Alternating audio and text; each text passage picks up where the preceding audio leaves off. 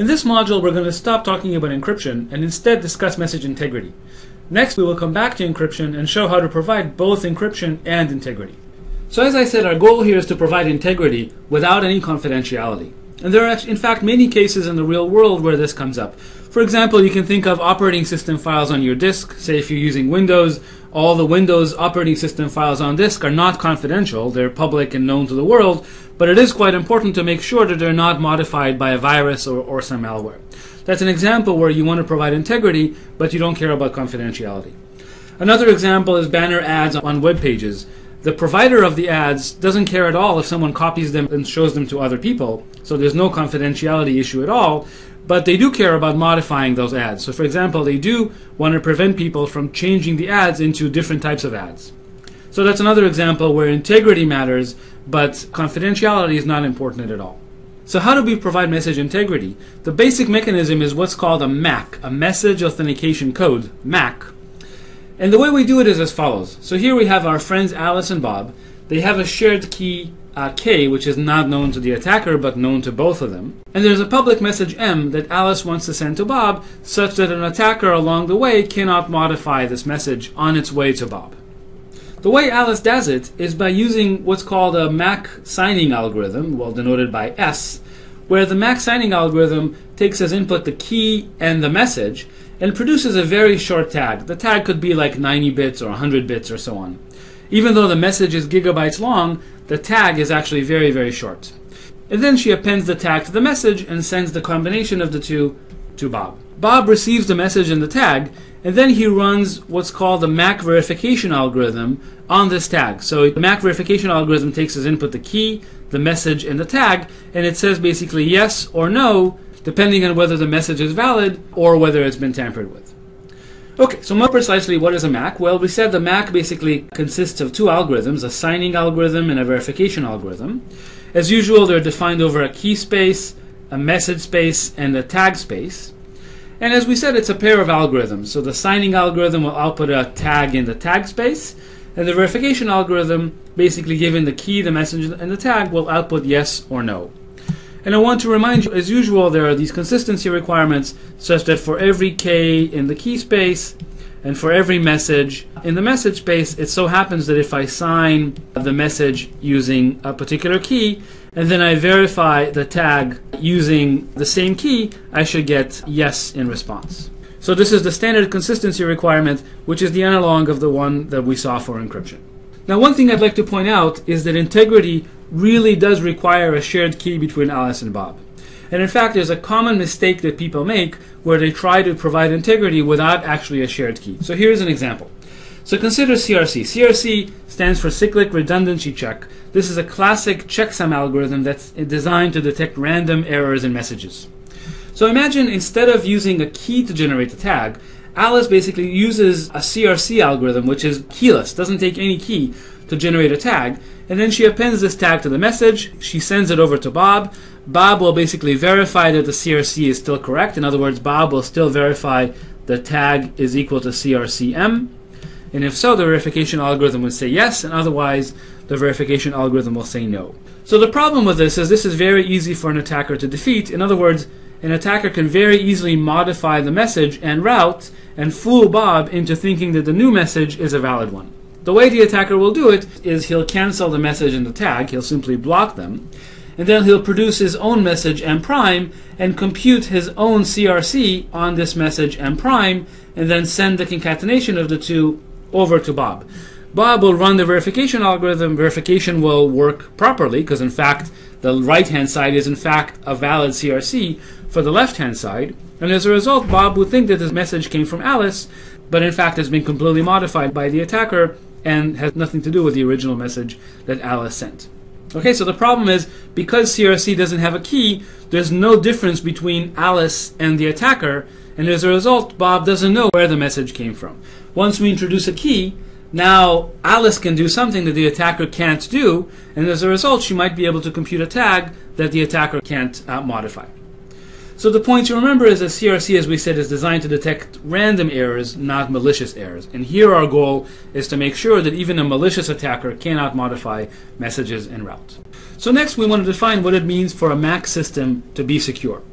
So as usual, we define security in terms of the attacker's power, what can the attacker do, and the attacker's goal, what is he trying to do.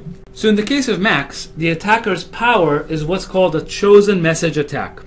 In other words, the attacker can give Alice arbitrary messages of his choice, M1 to MQ, and Alice will compute the tag for him on those messages and give him those tags. So again, you might wonder, why would Alice ever do that? Why would Alice ever compute the tag on a message that the attacker gave her?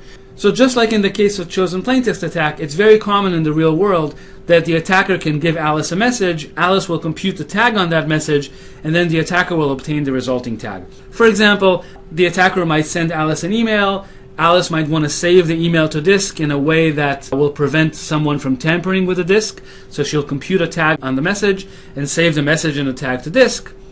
Later on, the attacker might steal Alice's disk, and now he's recovered Alice's tag on the message that he sent to Alice. So this is an example of a chosen message attack in the real world where the attacker actually obtained a tag on a message that he gave Alice. Okay, so that's what the attacker can do, basically this chosen message attack. And what is his goal? Well, his goal is to do something called an existential forgery. In other words, what he's trying to do is to produce some some new valid message tag pair. Okay, so some message tag pair that's different from one of the pairs that were given to him during the chosen message attack. And if he can do that, then we say that the system is insecure, and if he can't, then we'll say the system is secure. So I want to emphasize that existential forgery means that the attacker cannot produce a new message tag pair, even for a message that's completely gibberish. And again, you might wonder, well, why do we care if the attacker computes a tag on a message as gibberish? That's not of any value to the attacker. But we want to build Macs that are secure under any usage settings. And there are in fact cases where, for example, you might want to compute an integrity tag on a random secret key. In which case, even if the attacker is able to compute a tag on a completely random message, he might be able to fool a user into using the wrong secret key. And as a result, we want to make sure that if the Mac is secure, the attacker can't produce a valid tag for any message, whether it's gibberish or sensical. Another property that's implied by the security definition is if the attacker is given some message tag pair, he shouldn't be able to produce a new tag for the same message. In other words, even though there might be another tag t prime for the same message m, the attacker given m and t shouldn't be able to find this new t prime. And again, you might wonder, well, why do we care? If the attacker already has a tag on the message M, why does it matter if he can produce another tag for the message M? He already has one tag. But as we'll see, there are actually applications where it's really important that the attacker not be able to produce a new tag for a previously signed message. In particular, this will come up when we combine encryption and integrity. So we're going to demand that given one tag in the message, it's impossible to find another tag for the same message. Okay, so now that we understand the intuition of what we're trying to achieve, let's define it as usual using a more precise game. So here we have two algorithms, S and V, and we have an adversary A, and the game proceeds as follows. The challenger, as usual, just chooses a random key for the MAC, and then the adversary basically does his chosen message attack. So he submits an M1 to the challenger and receives the tag on that message M1. Then he submits an M2 to the challenger and receives a tag on that M2, and so on and so forth until you know he submits Q messages to the adversary and receives Q tags on all those messages. So that's the chosen message attack part. And then the adversary goes ahead and tries to do an existential forgery, namely he outputs a message tag pair, a new message tag pair, and we say that he wins the game, in other words, b is equal to 1 means that he wins the game, if First of all, the message tag pair that he outputs is a valid message tag pair, so the verification algorithm says yes. And second of all, it's a fresh message tag pair. It's, in other words, it's not one of the message tag pairs that we gave him before. In other words, we say that the attacker lost the game, namely b is equal to 0. And as usual, we say we define the advantage of an adversary as the probability that the challenger outputs 1 in this game, and we say that a Mac system is secure if for all efficient adversaries the advantage is negligible. Okay, in other words, no efficient adversary can win this game with non-negligible probability. Alright, that's our definition of secure Macs, and our goal is to build a secure Macs like this. Before we do that, I want to ask you two questions. So the first question is, suppose we have a Mac, and it so happens that the attacker can find two messages, M0 and M1, that happen to have the same tag for about half of the keys. In other words, if you choose a key at random with probability 1 half, the tag on the message M0 will be the same on the tag on the message M1. And my question to you is can this be a secure MAC? So I want to emphasize the attacker doesn't know what the tag on M0 and M1 is. All he knows is that the two messages happen to have the same tag with probability 1 half. So the question is whether this is a secure MAC.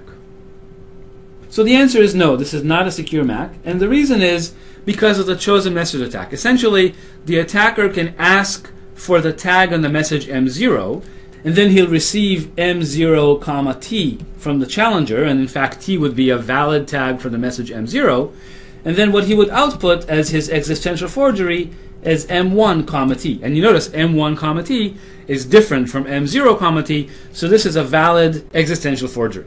And as a result, the attacker wins the game with advantage 1 half. So we conclude that this MAC is not secure. The second question I'd like to ask you is suppose we have a MAC that happens to always output a 5-bit tag. In other words, the tag space for this MAC happens to be uh, 0, 1 to the 5. So for every key and for every message, the signing algorithm will just output a 5-bit tag. And the question is, can this MAC be secure? Of course, the answer is no, because the attacker can simply guess the tag. So what he would do is he wouldn't ask any chosen message attacks. All he would do is he would output an existential forgery as follows. He would just choose a random tag, so choose a random uh, tag t at random in 0, 1 to the 5, and then he would just output his existential forgery as say the message 0 and the tag t. And now with probability 1 over 2 to the 5, uh, this uh, tag will be a valid tag for the message 0, and so the adversary's advantage is 1 over 32, which is non-negligible. So this basically says that tags can't be too short. They have to have some length to them. And in fact, the typical tag length would be, say, 64 bits, or 96 bits, or 128 bits. TLS, for example, uses tags that are 96 bits long. If you try to guess the tag for a message when the tag is 96 bits, the probability of guessing it correctly is 1 over 2 to the 96, so the adversary's advantage would just be 1 over 2 to the 96, which is negligible. So now that we understand what MACs are, I want to show you a simple application. In particular, let's see how MACs can be used to protect system files on disk. So imagine that when you install an operating system, say when you install Windows on your machine, one of the things that, that uh, Windows does is it asks the user for a password and then derives a, a key K from this password.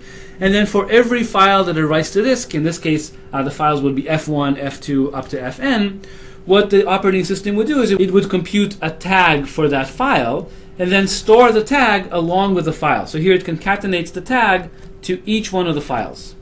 And then it erases the key K. So it no longer stores the key K on disk or in memory or anywhere. Okay, so now later imagine that the machine gets infected with a virus and the virus tries to modify some of the system files. The question is whether the user can detect which files were modified. So here's one way to do it. Basically, the user would reboot the machine into some clean OS. Say you reboot from a USB disk or something. And then once the machine boots from this clean OS, the user would supply his password to this clean running operating system. And then this new clean running operating system would go ahead and check the Mac for each one of the system files. Now, the fact that the Mac is secure means that the poor virus couldn't actually create a new file, let's call it f prime, with a valid tag. So it couldn't actually create an f prime t prime because if it could, then that would be an existential forgery on this Mac. And because well, the, the Mac is existentially unforgeable, the virus couldn't create any F prime no matter what the F prime is. And consequently, because of the security of the Mac, the user will detect all the files that were modified by the virus. Now, there's one caveat to that. One thing that the virus can do is actually swap two files. So, for example, he can swap this file, file F1, with the file F2 here, just literally swap them. So when the system or when the user tries to run file F1, instead they'll be running file F2. And of course that could cause all sorts of damage. And so the way to defend against that is essentially by placing the file name inside of the MACed area so that in fact we're computing an integrity check on the file name as well as on the contents of the file. And as a result, if the virus tries to swap two files, the system will say, hey, the file that's located in position F1 doesn't have the right name, and therefore it will detect that the virus did the swap, even though the MAC actually verifies. So it is important to remember that MACs can help you defend against file tampering or data tampering in general, but they won't help you defend against swapping of authenticated data, and that has to be done by some other means. Okay, so that concludes our introduction to MACs, and in the next segment, we'll go ahead and construct our first examples of secure MACs.